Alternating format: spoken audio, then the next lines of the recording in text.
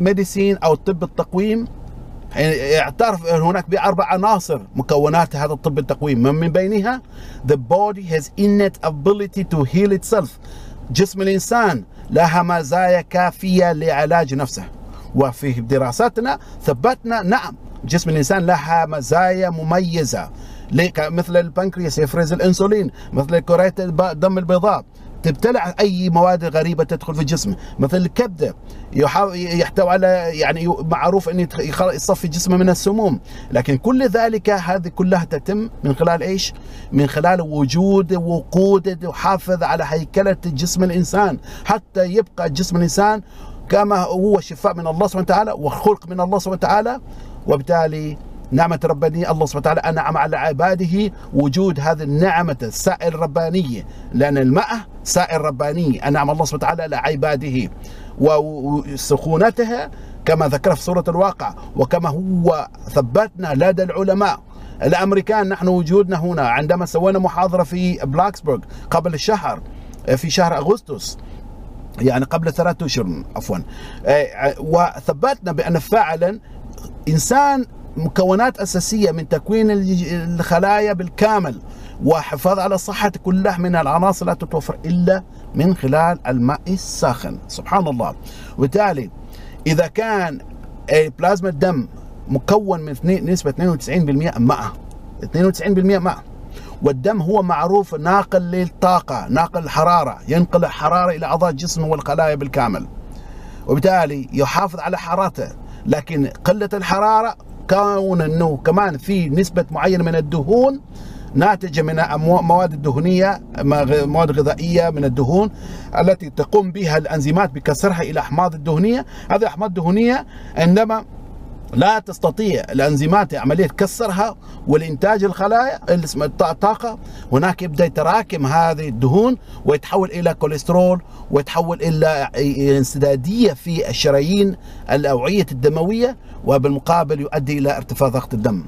سبحان الله. لذلك السكري ارتفاع ضغط الدم الكوليسترول أمراض القلب وطبعا كل أمراض كثيرة مرتبطة ب وجود العناصر الأساسية. طبعا هذا عدم وجود وجود خلل في النظام لعدم وجود هذه الأربع عناصر وهي كلها من الماء ساخن هي التي تؤدي إلى خلل في وظائف ميكانيكية للجسم. يعني نقص الماء كافيا في بلازما الدم الذي يفترض أن يكون 92% هو ماء يؤثر. اثنين عندما الإنسان يبدأ يواظب على البرنامج الصحي والعلاجية لتناول ماء ساخن طبعا هذا هذا مجرد وسيلة واحدة من الأساليب الصحية والعلاجية. طبعا هناك وسائل أخرى لفوائد صحية مختلفة. مثل البخار الماء وأيضا الكمادات بالماء الساخن وغيره وغيره وغيره. لكن الأساس هو العلاج الداخلي من خلال البرنامج الصحي والعلاجية لطريقة تناول ماء ساخن. ننصح بشدة ما أحد يوقف أحدا عن تناول ماء ساخن إلا بعد ما يتأكد. لا نحكم على مريض واحد مجرد أن نستخدم الماء ساخن ومن ثم تدهور حالته. ليس من سبب الماء. هناك مرضى في مستشفيات بمئات وملايين وآلاف وتدهورت حول أضاعهم لماذا لا يقولون أن من سبب الأدوية وسبب أسباب أخرى؟ ليس من ماء ساخن ليس على الإطلاق وإذا كان مسألة أن المريض ترك الأدوية حتى ما ندخل مجادلات مع صناع القوانين طبعا ما أستطيع أمنع الناس لكن في نفس الوقت لا أستطيع أثبت بأنني عندما كنت مصاب بأمراض كثيرة وثبت ذلك اللجنة الطبية من مستشفى الآيات الذي كنت أتلاقي العلاج في سلطنة عمان ونشرنا التقرير الطبي وخلو من الأمراض بالكامل فقط من خلال الماء الساخن والبرنامج العلاج بالماء الساخن. ما مجرد الشرب لا برنامج متكامل. هذا واحد. زوجتي كانت مصابة بالسكري ولدي إذا أي شخص يريده وأنا سنعمل حتى على نشرة وقمنا بنشرة فحوصات طبية وكمان سكر تراكمي كان يثبت أنه وصل عندها ستة ونص إلى سبعة وشيء تقريبا.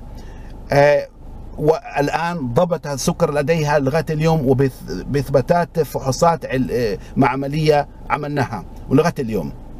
أخي الكريم ارتفاع ضغط الدم عندما نبدأ نواظب على البرنامج الصحي والعلاجي بالماء الساخن يؤدي الجسم إلى thermogenesis vasodilation أو تمدد الأوعية الدموية نتيجة دخول الجسم إلى ثيرموجينيسيس أي طاقة الحرارية. ولو رجعنا بالقانون قوانين الديناميكيه الحرارية هي ماذا يقول القانون الأول الديناميكيه الحرارية؟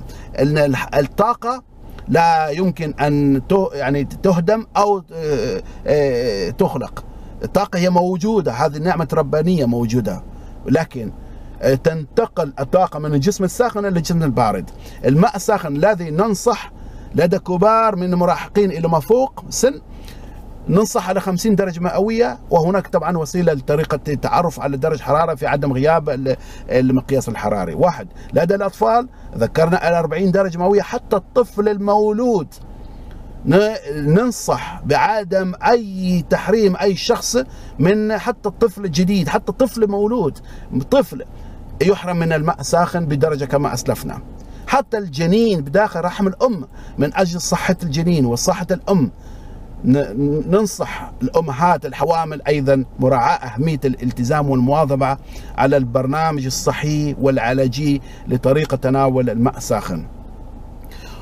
سبحان الله هذه هي مجرد كانت هذا مجرد كان مختصر للرد والإفادة ونحن ليس قصدنا على الانتقاد ما قال تغريدة الدكتور خالد مع احترامي لك أخي الدكتور واحترامي لجميع الأطباء بل كان مجرد لأن وجاتنا كثير من الاستفسارات ومئات لدرجة ما قادرين يا أما نمسك عمالنا نواصل بعملنا أو نرد على هذه الاستفسارات. لذلك فضلنا أن نعمل هذا التسجيل وننزل على اليوتيوب ثم نوزع عبر الواتساب ونوزع عبر التويتر وعبر المواقع الإلكترونية وحتى لك أخي أستاذ الدكتور خالد النمر المحترم وستوصلك الرابط سيوصلك الرابط آه، لهذا التسجيل آه، نعم لهذا الرد الذي قمنا به. عطلنا في الموضوع لكن هدفنا الفايدة للجميع. الجميع يستفيد ولا نحرم ولا نحرم إلا بعد أن تتأكدوا. وأنا أطلب منكم يا أخواننا آه، دكتور خالد لديكم مستشفى ما شاء الله لديكم إمكانيات هناك عندكم أجهزة عندكم معامل عندكم معامل مختبرية. لماذا لا نستغل من هذه النعمة الربانية حتى يثبت بأنه اكتشاف خليجي؟ لماذا؟ لماذا أن حتى يثبت أن الذي اكتشفه هو عربي مسلم خليجي عماني؟ وأنت خليجي وأنا خليجي. لذلك هذه نعمة ربانية ويثبت على مستوى العالم حتى يوصل وقت مرحلة كما قال توماس إديسون العالم الشهير معروف الذي معروف من هو توماس إديسون والذي قال طبيب المستقبل لن يستخدم الأدوية.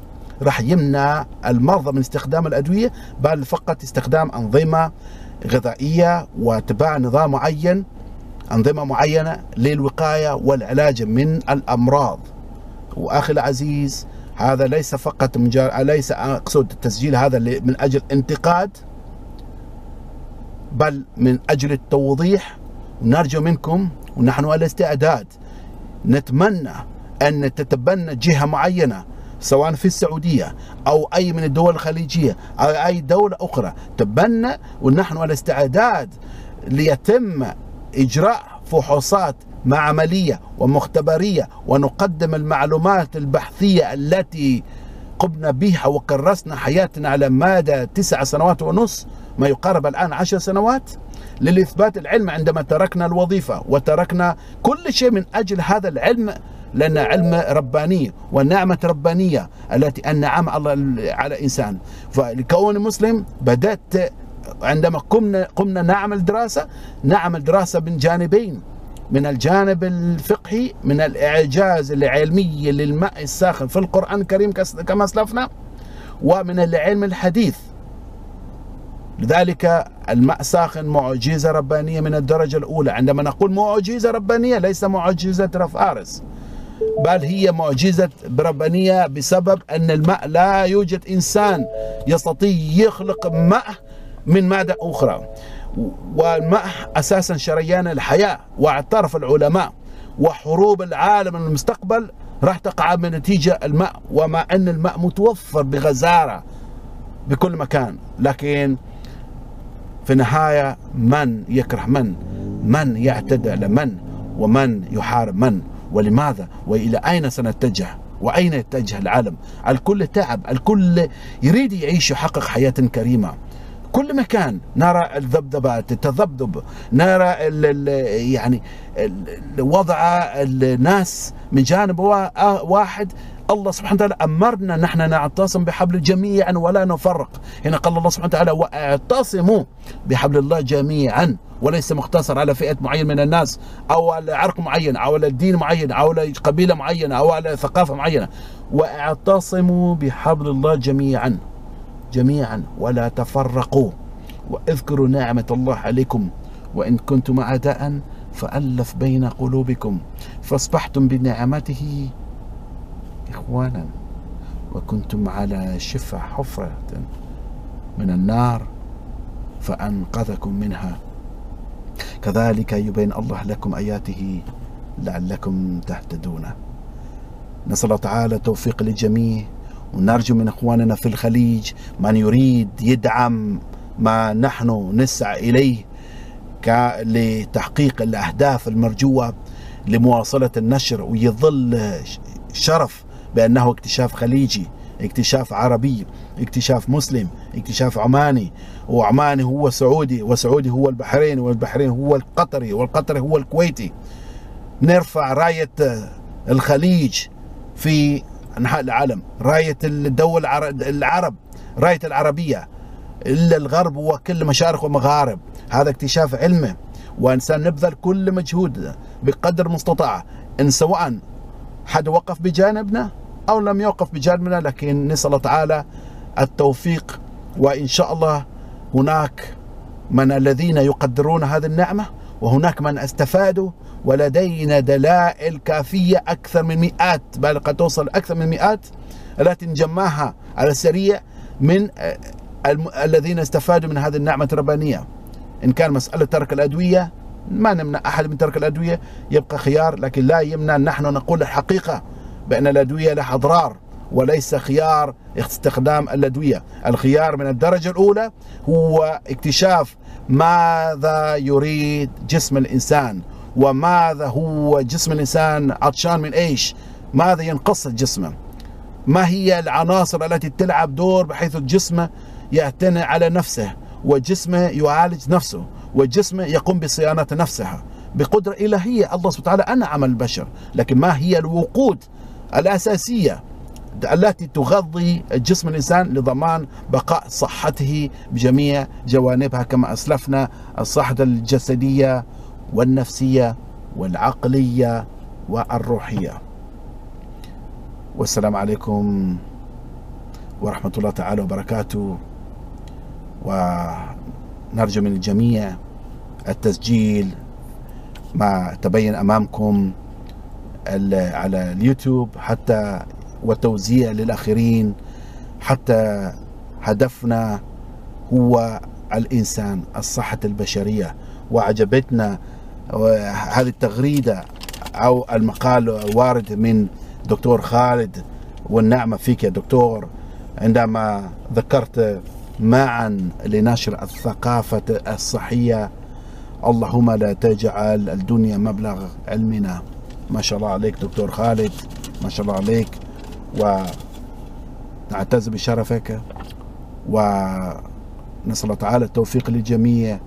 ونسأل الله تعالى كل من استفاد يواصل مجهوده يواصل لنشر هذه النعمة الربانية وينشر كل المشاهد الفيديو كل الرسائل كل من الذي استطعنا أن نتواصل معه من أجل النعمة الربانية نشرها.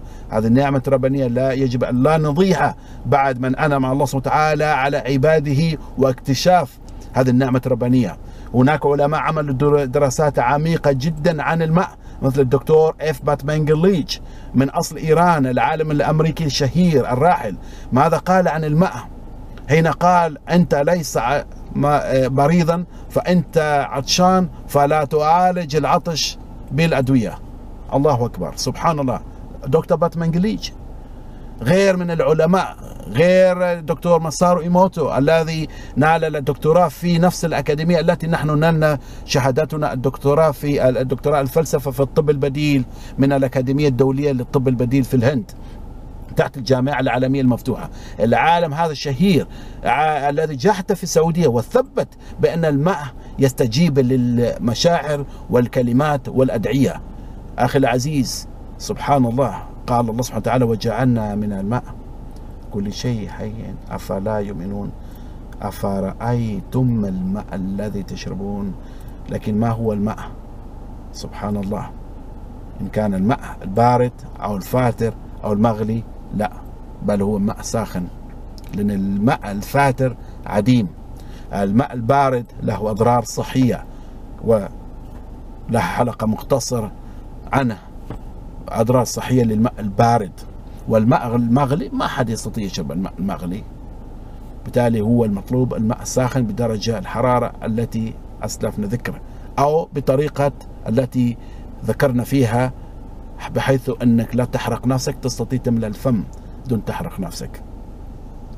والماء مجرد إضافة أي شيء فقد خصائصها وبالتالي هذا موضوع مهم جدا جدا جدا. نرجو من الجميع أن يوقف نعتصم بحبل الله جميع ونمد أيادينا بعضنا البعض نحتضن بعضنا البعض. من أجل مواصلة هذه النعمة الربانية إلى الأمام وكل من الذي سيوقف في, هذا المشروع العظيم في النشر ودعم بقدر ما يريد ما يدعم من الدعم. ونحن نعمل على إقامة عشر مشاريع في مستقبل قريب من بينها ثمانية مشاريع تتعلق بهذه بالنعمة الربانية بهذا بالماء بالفوائد الصحية والعلاجية للماء الساخن ومن ثم انتشارها على ربوع العالم حتى يوصل لكل إنسان له الحق حصول هذه النعمة الربانية كان فقيرا أو غنيا صغيرا أو كبيرا. حتى جني ج... آه... الطفل في رحم الأمة الجنين أو أي إنسان مهما كان مجرد اللهم هو إنسان مخلوق من الله سبحانه وتعالى وليس إنسان آلي أو إنسان من نوع آخر. هو إنسان خلقه الله سبحانه وتعالى من عباده. لا يختصر على ما ينتمي إليه أو عرقه أو ثقافته أو علمه أو مادته ماديته أو, أو كل ذلك بل هو مجرد إنسان. هذه النعمة الربانية سنواصل بقدر المستطاع توصيلها إلى ربوع العالم.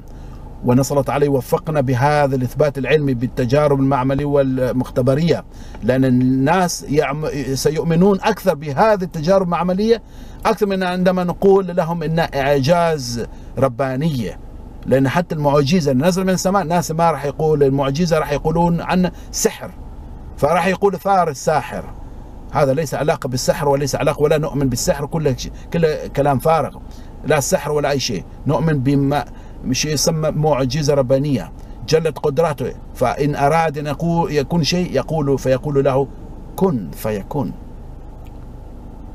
والسلام عليكم ورحمة الله تعالى وبركاته.